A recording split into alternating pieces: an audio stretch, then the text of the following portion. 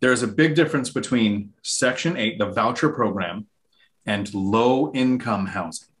Low income housing attracts people who have a low income. Section 8 housing attracts people who have a fixed income. Correct. So, retired veteran, disabled person, somebody who has that set money coming in where they qualify for the program.